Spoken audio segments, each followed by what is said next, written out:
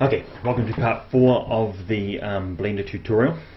Uh, this is a, a catch-up for those who have missed the lunchtime tutorials on the very, very basics for Blender. Um, I've started here with uh, um, a web browser. Okay, this is the um, the Aparima College Blender Club sort of site not really, but this is the, the quick one you can go to. It's at the top, www.upperlink.school.nz slash blender.htm. If you click down here, you can zip on through to um, a site that I've created for, um, sorry, from Google Sites. Did I click on that? Yes, I did. It's going really, really slowly. Right. Um, pretty soon, I can come to this site, which gives us a whole heap of um, files and tutorials and stuff that you can just catch up on really, really fast. Okay, catch up tutorials and associated files can be found here. We're going to go to this this page because it's going. This page holds um, a partially completed uh, model that we are going to use for today. So the robot 2 blend, you click on that, you can download it. Um, everyone's um, software in the computer is slightly different, and you, the the um, the operating system is different, so it will depend on what you're doing. Just go save or whatever it is, save it in a place where you know where you can find it. Okay, I'm saving it here to my desktop, and um, I'm going to use this robot for today for this tutorial. Whoops. Here we go. Now, when you open up your file, the robot 2 file, um, it'll look something like this. Okay, we're going to use this robot today. What's the aim for today's um, catch-up? It is to clothe our robot, to paint it in some sort of material. This is a very, very basic one, a basic look at materials. We're going to look at the next lesson, next week, at actually colouring different parts of a robot, different colours. For example, colouring the head one colour and the claws another colour and so on and so on and so on. But today, the absolute basics in colouring, um, texturing, material. We're going to create some materials for our robot. You might have seen there that my screen was a bit too small so I went through and I clicked with the left click and dragged the side out until I could see this little tiny thing right here. If I hover over it it will say materials. Click. There we go. Now you may have a material already up there but if you don't which is quite possible it'll come up with the screen here and all you do is you click new Okay, once you've got a new material here, it'll ping on down and you've got a little preview of what the material looks like. This thing over here is it's sort of like a preview, but it's a very, very basic preview of what our material is going to look like. This one over here really only shows us the um, the color and maybe a little bit of of, of the shine, and that's about it. Step one, this is pretty grainy. If you look here, it's, it's covered with little tiny squares. We're going to go through and make it nice and smooth. So click, shading, we're going to smooth the whole thing off. Done. Okay, step two. Over here on the material part, we're just going to move this around. We're just going to drag this so we can see, um, that's the left click, drag down. We can see the material, the, the sphere, little object here. And down below, there's a couple of boxes. Notice here, it says diffuse this little color thing here is the present color of our material. That's that thing there. And of course this thing here as well. If I click it with my left clicker, a box springs up and I can drag it around and as you can see I can drag it around and change the color of my robot to any color I want. Ooh, nice. I'm going to make mine, ooh, that's good, blue. Bring it in a little bit there. That's good. Sort of Okay, and down the bottom I can increase the intensity. Like down here, I'm having less and less and less and less blue. Okay, in fact, less color, less base color altogether. And at the very bottom, I've got no color. And here I'm increasing it until I've got full of this blue color right here. Right, there's little buttons at the side. See how it says Lambert? They actually might be French. Maybe it's Lambert or something. Who cares?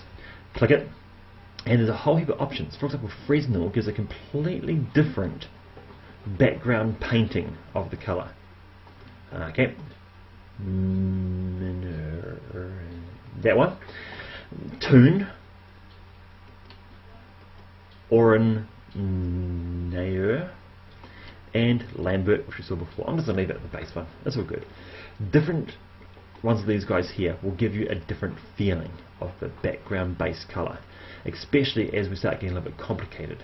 Right, specular. Specular, okay, let's go back. Diffuse, fancy name for the base painted colour of the material. Specular is a fancy name for the amount of shine. See this little shine right there? I just want to polish it up a little bit. If I increase the intensity of the shine, I actually increase the intensity of that reflection. I can drag it on down and look, hardly any. Drag it to zero and there's no gloss, no reflection at all. Right, I'll bring it halfway.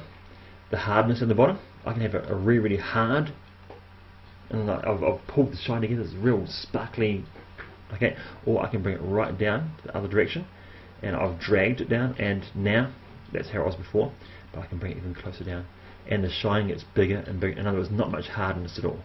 And now it's spread right across the entire thing, and it's almost no blue left. If I bring the hardness right down to that, there is almost no blue at all. But we're going to just bring it up to about 50. By the way, how did I do that? I click in the middle and I drag up and down.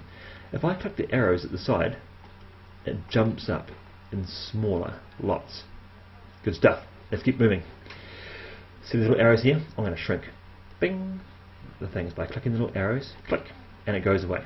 Shading, let's just ignore that for now. I'm going to get rid of that too. Here's the next one, transparency. If I go through and tick this box transparency, nothing happens. It's because inside the transparency, click, I've got extra options. Now I'm going to ignore the Z transparency for now and go straight to ray trace because ray trace is so cool. Now, if I've got a, a glass sphere Transparency means I can see through it. Okay? And that's exactly what we're doing right now. But you might have noticed I've ticked the transparency, but nothing's happened. See this Fresnel thing here? Fresnel is telling is a, is a really cool thing, and it's I'm grabbing, clicking, and dragging. What happens with real glass is the closer that you get to the edge of the glass, the less reflect, sorry, the less transparent it is, and the more reflective. In other words, light will sort of bounce off it, but it won't go through it very well. Now I'm going to change through the monkey down here. See this little monkey? Bing! And what I'm doing right now is I'm previewing what it would be like if I had a, uh, a more complex thing going on here.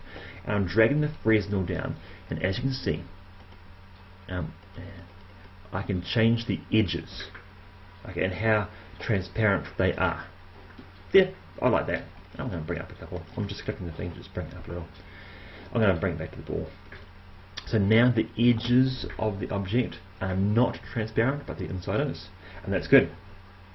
See this IOR, that stands for Index of Refraction, I believe. Basically that means how good a magnifying is it? How much does it bend the light as it goes through? You'll see there, I just clicked the edge, bing, and it went upwards by a little bit. I click it again, it gets even more reflective. Click it again, and after a while it actually becomes quite absurd how refractive it is. Okay, if in doubt, Google that or whatever. Put it into a search engine because diamond has the one of the highest refractive bendingness there is. But normal glass, that's a certain level. Right, now this filter one here. Filter is basically um, how much of the colour of the material is actually coming through. If I put the filter all the way up, then you know how it was blue before? The light coming through is completely blue. it's been filtered blue. If I have it halfway, it means that um, yeah, half of the, the light coming through has been filtered to blue. Okay, I've got to finish it really, really soon. Here is the final part. See this guy here? Doesn't look special. You've got to go up to render and then go render image. Now the reason I said this, look, here's a quick key thing here. I notice when I do this in the Mac, in the labs, if I press F12, other things pop up. So I'm going render, render image, but I can also press F12 on my computer and ping.